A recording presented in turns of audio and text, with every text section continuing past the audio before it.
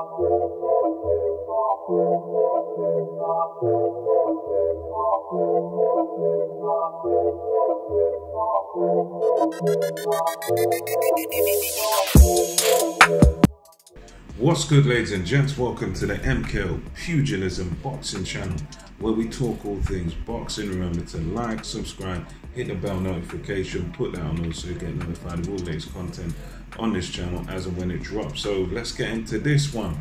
So, as many of you would have heard, um, Deontay Wilder is in fact looking to make a comeback to boxing. So that's good news for us as fans. Um, Deontay Wilder, arguably the hardest puncher in boxing when he was in it. So he's a guy that, you know, you're guaranteed fireworks, you're guaranteed knockouts nearly every time. I think it's only um, Tyson Fury and Bermane Stiverne who have sort of managed to take Deontay Wilder the distance. So it's the type of guy that he hits you, you get knocked out.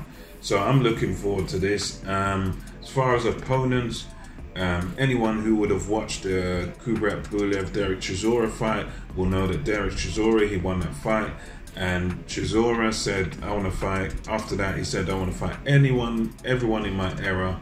Um, if Eddie Hearn can get me the bronze bomber, if he can get me Deontay Wilder, I'll be happy with that. So Chisora calls out Deontay Wilder in the ring um, after his victory over uh, Kubrat Pulev.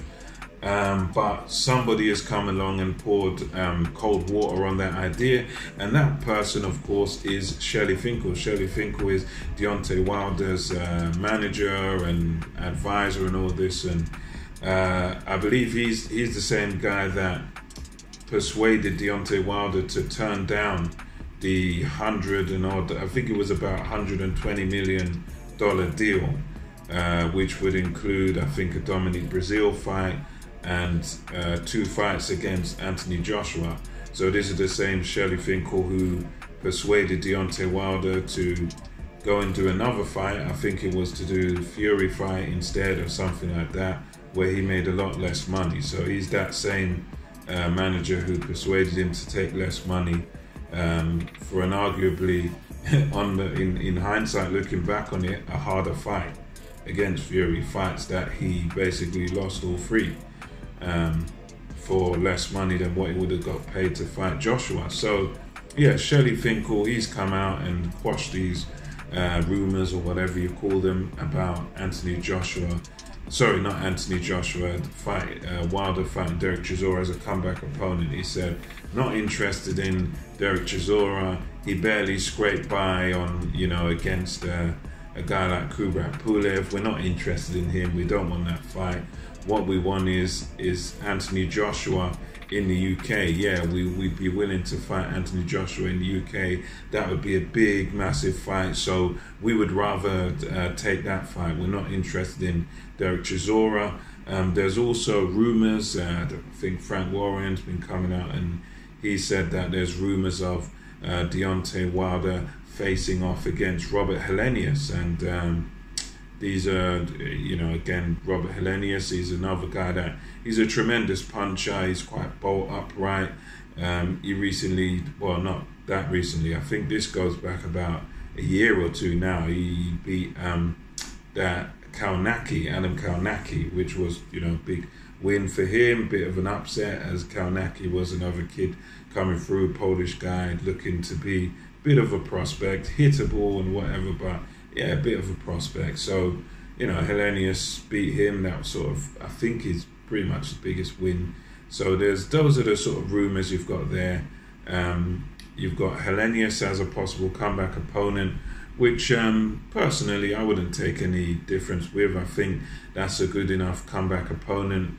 Um, with with Chisora, you've got his uh, coach Don Charles saying he's he's interested in the Wilder fight. He thinks that what they could do is they could nullify that right hand and, and basically that's all Deontay Wilder's got. So you've got Chisora and them showing interest. Finkel saying no, he's not interested in it. So I think definitely, you know, 100% we're not looking at Anthony Joshua next for Deontay Wilder, much as I would want to see it. I also would say probably we're not going to get Chisora versus Wilder because I reckon um, Wilder tends to really play, pay close attention and really be um, led 100% by Finkel, and he, he, can persuade him of anything pretty much. So I, I reckon more than likely we'll probably get the Helenius fight maybe as a comeback, and then who knows what next. Um, he's got good favour. He's in the good good books of the WBC, so who knows what's next. Um, uh, it's one of them. Uh, we so as far as that, that's just a bit of news there.